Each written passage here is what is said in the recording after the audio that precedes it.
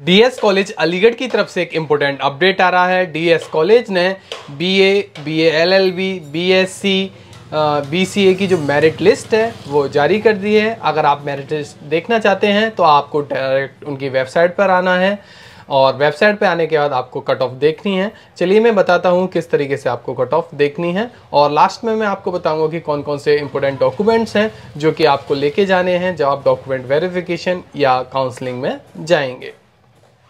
सो so, आपको DS की official website पे आ जाना है देन क्लिक करना है एडमिशन लिस्ट दो हज़ार तेईस चौबीस देन आपको थोड़ा सा वेट करना होगा वेबसाइट थोड़ी सी स्लो चल रही है टाइम ले रही है देन आपके सामने जो लिस्ट है वो आ जाएगी।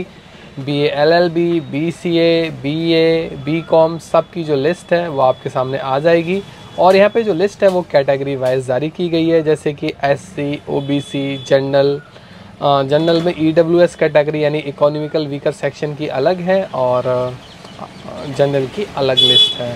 सो so, आप देखेंगे यहाँ पर जो अलग अलग डिपार्टमेंट और डेट्स हैं और टाइमिंग है वो लिखा हुआ है। जिस दिन आपको रिपोर्ट करना है कॉलेज में और जब आप कॉलेज में रिपोर्ट करेंगे तो कुछ इंपॉर्टेंट डॉक्यूमेंट्स की ज़रूरत आपको पड़ेगी वो मैं आपको बता देता हूँ जल्दी से। जिस दिन आप कॉलेज में रिपोर्ट करने जाएँगे उस दिन आपको सारे अपने ओरिजिनल डॉक्यूमेंट्स लेके जाने जैसे कि टेंथ की मार्कशीट ट्वेल्थ की मार्कशीट जाति प्रमाण पत्र अगर आप किसी रिज़र्व कैटेगरी से हैं देन अपना आधार कार्ड और यूनिवर्सिटी का वेब रजिस्ट्रेशन नंबर जो आपने राजा महेंद्र प्रताप सिंह यूनिवर्सिटी में कराया था। अपने पुराने कॉलेज जहाँ से आपने ट्वेल्थ करी वहाँ की टीसी यानी ट्रांसफ़र सर्टिफिकेट और करेक्टर सर्टिफिकेट यानी चरित्र प्रमाण पत्र आपको लेके जाना है। यही इंपॉर्टेंट डॉक्यूमेंट्स हैं जो आपको लेके जाना है। एक अपना फ़ोटो और लेके जाना है।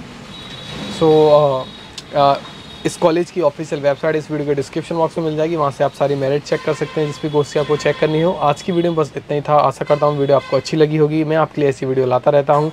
Thank you for watching video अच्छी लगी तो लाइक करना, साथ के साथ चैनल सब्सक्राइब कर लीजिएगा, जिससे क्या है कि आगे जब फाइनल लिस्ट निकलेगी, उसकी वीडियोज़ मैं आपके लिए बना दूँगा।